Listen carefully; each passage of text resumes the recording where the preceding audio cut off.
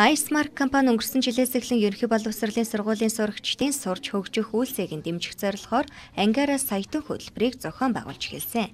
Энэ хөтөлбөрийн хүрээнд өнгөрсөн жил нийт 13 анги саятан болж шагналын мөнгөөрөө анги танхимаа тогтжуулах, ногоон байгууламж барих, сургалтын төлбөртөө зориулан хадгаламж нээх гих зэргээр олон үр дүнтэй ажлуудыг зохион байгуулсан юм. Харин энэ жилийн хувьд нийт 400 гаруй анги оролцож 9 анги саятан боллоо. Энэ дундаас Баянзүрх дүүргийн 84-р сургуулийн 7-гийн А анги нь хоёр дахь удаага шилдэг ангиар тодорч байна. Чи манай ихт хийх зүйл айгүй их байгаа.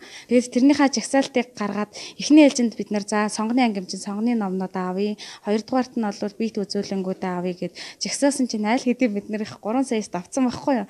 Тэгэхээр за ямар ч гэсэн нэгдүгээр байранд орно гэж үзсэн байхгүй да. Тэгээд оролцоод а хоёрдугаар байранд орсон. Ангиара саятын хөтөлбөрийн 1-р байранд орсон анги 3 сая төгрөг, 2-р байранд орсон анги 1 сая төгрөг, 3-р байранд орсон анги 500 мянган төгрөг хожсон юм. Улаанбаатар хот Дархан Эрдэнэт хөдөө орон нутаг гэсэн 3 бүст хуваагдсан хоорондоо өрсөлдсөн юм а.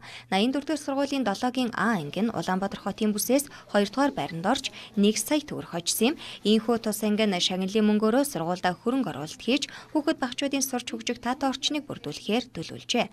Бусад ялагч болсон ангиуд жин мэдчлэн шагналын мөнгөөрөө хүмүүстийн боловсролдоо хөрөнгө оруулалт хийн гэдэгт итгэлтэй байна. Биологи аль багийн аль биетэнд оролцож